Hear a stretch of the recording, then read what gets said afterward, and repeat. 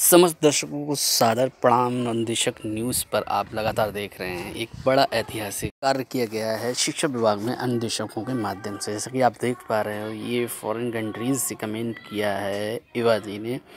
और look at this feel your country learn through your body because your body remember everything उन्होंने तारीफ़ की है हमारी अनुदेशक बहन की। जी हाँ दोस्तों, हम आपको ये इसलिए दिखाना चाह रहे हैं कि हम अनुदेशक किसी से कम नहीं ऑलराउंडर हैं हमसे जो काम लेंगे शिक्षा विभाग में, हम उसे करने के लिए कोशिश करेंगे और तैयार हैं हर तरीके से। हम तेरह खाना नहीं चौदह खाना रेंज के रूप में सरकार का काम करेंगे शिक्षा विभाग के माध्यम से।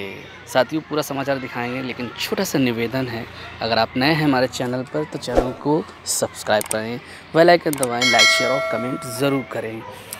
चलते हैं विस्तार पूर्वक हम आपको यहाँ पर दिखाना चाहेंगे मामला क्या है। सीतापुर से हमारी बहन अनुदेशिका माया देवी जी हैं। उन्होंने ट्वीट किया है अनुदेशक शिक्षक उत्तर प्रदेश के पूर्व माध्यमिक विद्यालय प्रतापपुर प्रयागराज में कार्यरत कला अनुदेशक श्रीमती के एल भास्कर मैम ने साबित कर दिया है कि अनुदेशकों में प्रतिभा की कमी नहीं है। उनकी इस प्रतिभा को देश विदेश में पहचान मिली है। ये हमारी बहन अनुदेशिका हैं माया देवी उन्होंने सूचित किया है। सूचना अंदेशक न्यूज़ वी वांट जस्टिस अंदेशक मांगे नियमितीकरण चलते हैं दोस्तों हाइलाइट्स दिखाते हैं एस न्यूज़ के माध्यम से। भाई विक्रम हमारी प्रक्रिया देखिए करते हुए कुछ हाईलाइट्स फिर बीबीएसए फिर सीडीओ फिर डीएम ये पाँच प्रक्रिया है सर। और उसके बाद जब हमारी नवीनीकरण हो जाती है तो सौ रुपया के स्टाम्प पेपर पर हमसे बॉन्ड भरवाया जाता है। इस प्रकार से हमारा शोषण होता है, सर। जबकि जो हमारा शासनादेश है, सर, उसमें कहीं भी नहीं लिखा है कि हमसे बॉन्ड भरवाया जाएगा। कहीं भी आख्या की बात नहीं है, लेकिन लगातार हमारा शोषण किया जाता है।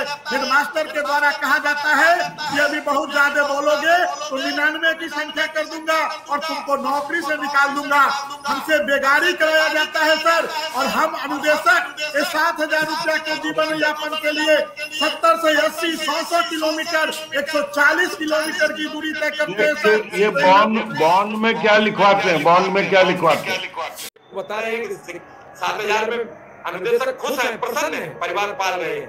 तो इनकी सुधी ले बोले एनआईएस वालों को नियमावली में सम्मिलित करें।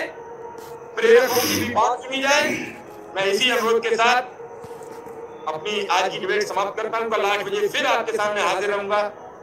साथियों यहाँ पर अपील करते हुए शुभा मिश्रा जी सरकार से कि हम निशुल्कों के हक को जल्द से जल्द पूरा करें। दोस्तों आज के लिए बस इतना ही। एक बार फिर से अपील करना चाहूँगा चैनल को सब्सक्राइब करें बेल आइकन दबाएँ लाइक शेयर और कमेंट संवैधानिक दायरे में रहते हुए शिक्षक की मर्यादा में करें। Thank you for watching. जय हिंद जय भारत वंदे मातरम।